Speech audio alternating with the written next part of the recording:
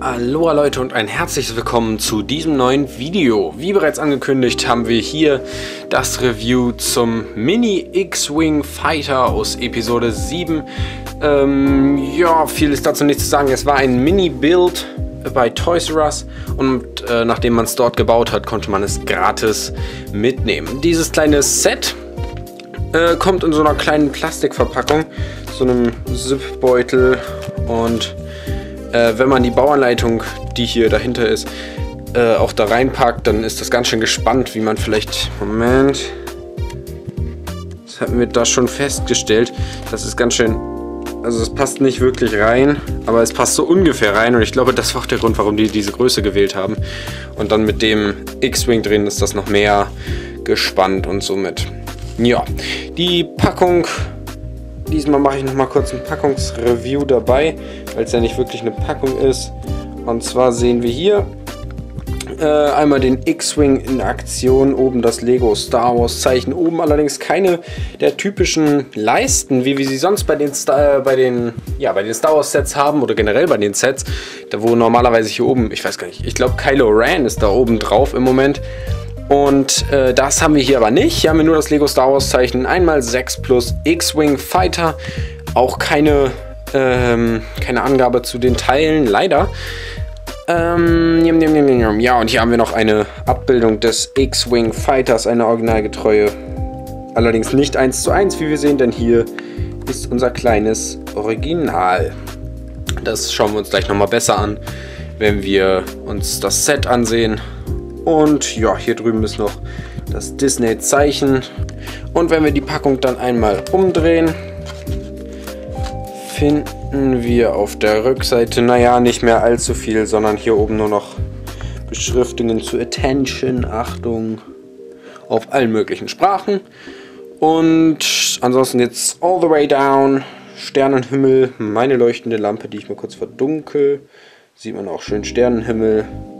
Und hier noch ein Achtung, Kleinteile, Gefahr, Dingsbums, was allerdings nicht auf, dem, nicht auf der Bauanleitung im Allgemeinen ist, sondern ja, mehr auf diesem kleinen Sticker. Öffnen wir das Ganze doch einmal und zwar, hier sieht man nochmal, dass es einfach nur ein Ziplock ist, den man einfach so aufmachen kann und dann plumps fällt schon das Set heraus und hier sehen wir nochmal, das ist ganz schön gespannt, dieses Teil. Und ja, hier haben wir unser Set und ja, schauen wir uns doch mal in einer 360 Grad Drehung an. Ja, hier sehen wir einmal Pose X-Wing Fighter. Der hat hinten drin auch noch die kleine äh, R2 Ablöseeinheit BB8 angedeutet, wie auch bei dem alten Fighter die R2-Einheit mit einem blauen Noppen angedeutet wurde. Hier ist es halt ein weißer. Die, der ganze X-Flügler ist äh, hier nun in schwarz und orange gehalten. Die alte Version war ja mehr in rot und weiß. Vielleicht ja auch ein bisschen grau dabei. Hier haben wir allerdings auch noch ein bisschen grau. Und ja, ich kann da gleich mal als Comparison dazu den alten beziehungsweise nicht alt, aber vielleicht kennt ihr noch die Adventskalender-Version oder die jetzt auch in dem Star Wars Magazin mit drin war, in dem ersten Magazin. Und zwar ist das diese hier. Die kann ich ja mal kurz daneben stellen. Und dann sehen wir auch schon die Unterschiede. Bei mir ist die ein bisschen demoliert. Ich finde gerade, irgendwie ist das hier verdreht, aber was soll's. Ähm, wie wir sehen, haben wir hier einige Unterschiede. Und zwar unter anderem finden sich auf dem neuen Episode 7 Flügler äh, nun diese Grills obendrauf. Ähm, die finden sich jetzt auf dem alten eher nicht. Hier sind die halt orange und da ist halt überhaupt nichts zu finden. Unter anderem sind auch diese Teile, wie ich gerade sehe, umgedreht, die hier unten am Flügel sind. Aber nur die unteren, die oberen sind andersrum. Ähm, von der Rückseite finden wir dieses Teil in der Mitte. Ich werde jetzt nicht alles beschreiben, aber das Teil in der Mitte ist halt hier rot und da schwarz, um halt die Farbgebung nochmal komplett zu ändern. Ähm, weil wenn wir hier rotes Teil gekriegt hätten, hätte das wieder überhaupt nicht gepasst. Genauso sind hier alle Teile, die hier rot sind, komplett drüben in entweder orange oder halt schwarz übernommen. Und ja, alles weiße halt komplett in schwarz dass man es aufbauen kann, deutet ja darauf hin, dass man auch eine Bauanleitung haben muss. Und diese haben wir hier in Form auch der Rückseite unseres Details, die hatte ich ja eben auch schon beschrieben, und aber hier die Innenseite nochmal kurz anzuschauen. Oben haben wir alle Teile, die enthalten sind, wie man hier schön erkennen kann.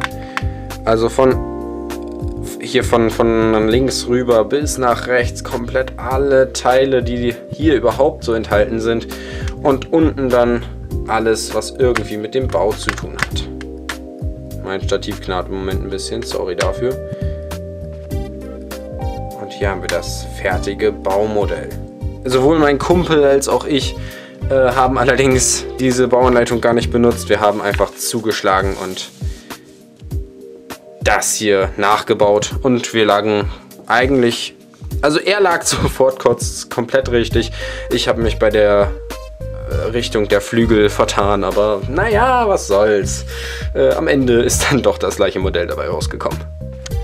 Alles in allem kann man über dieses Set echt nicht meckern und der Preis ist auch echt angemessen, nämlich, äh, naja, gratis.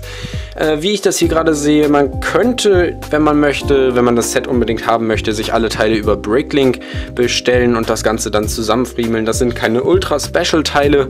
Ähm, das eignet sich dann vielleicht auch, wenn man nochmal eine Armee von X-Wings äh, alle haben will und äh, sich die großen Versionen nicht so viele leisten kann, wie ich beispielsweise, äh, dann kann man sich halt ganz, ganz viele davon rebricken und dann passt das auch. Der Aufbau hat mir super viel Spaß gemacht und äh, wer das Ganze noch nicht gesehen hat, zeige ich nochmal hier ganz kurz.